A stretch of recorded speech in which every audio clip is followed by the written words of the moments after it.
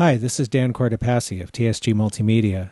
Today I'm reviewing an HO scale Trinity 31,000 gallon crude oil tank car from Scale Trains. This car is part of their Rivet Counter series, so has extra detail. My particular car represents a deep rock car that was built in 2014, so it would be appropriate for any modern layout. These cars are available direct from scaletrains.com for $38.99. My car came out of the box with a little bit of damage to the couplers. On the B end, the coupler was completely out of the box. Looks like the screw had fallen out. And on the A end, the coupler knuckle had come detached. So before we proceed with the review, I'm going to attempt to repair the car so that I can evaluate the coupler height and other things like that. So what I found is that the coupler box screw is actually stripped and it won't stay in the hole.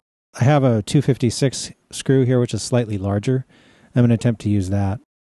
I ended up having to tap the hole for the one coupler box with a 256 tap, and then I was able to use a 256 screw.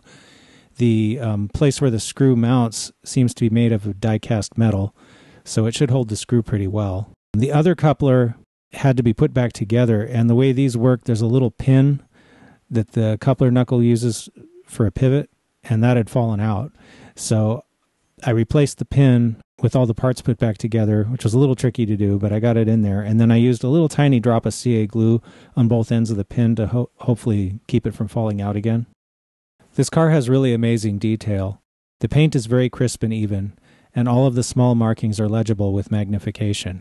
The ladders are freestanding, as are all the grab irons. The underbody detail that's visible from the side looks really good. We'll take a closer look at that a little later.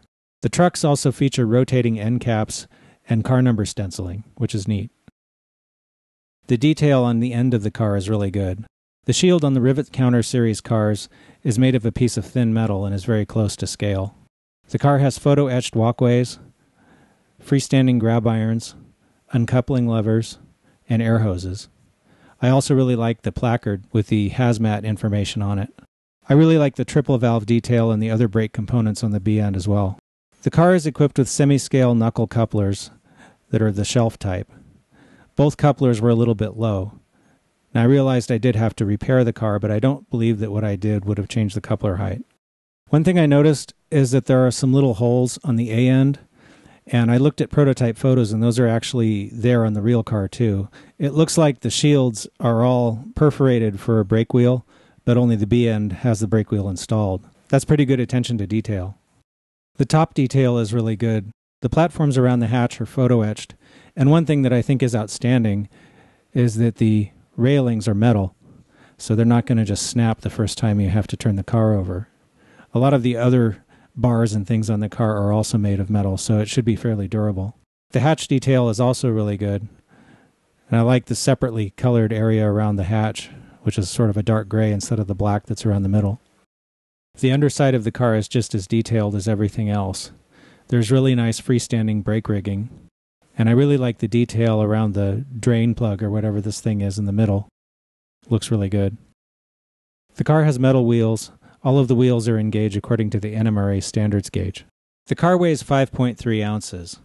The NMRA recommended weight for a car of this length is about 4.9 ounces.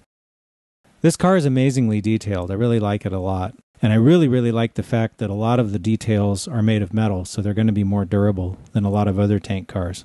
That's been one complaint that I've had with tank car models in the past is sometimes you just touch the little grab irons or something and they'll snap off because they're made out of some thin plastic. So I really like this car and I think it'd be pretty durable. It's a very modern prototype that I think anyone running modern trains would like to have. This car is so good that it would easily be an epic model if not for the fact that it had a couple of problems. I'm going to take a spike for the coupler height being wrong. And I think on a $40 car, you really shouldn't have to repair it when you get it out of the box. So I'm going to take off a spike for the damage. My final verdict is 8 out of 10 spikes. If you or your company make a product that you'd like us to review, please drop us a line at reviews at tsgmultimedia.com.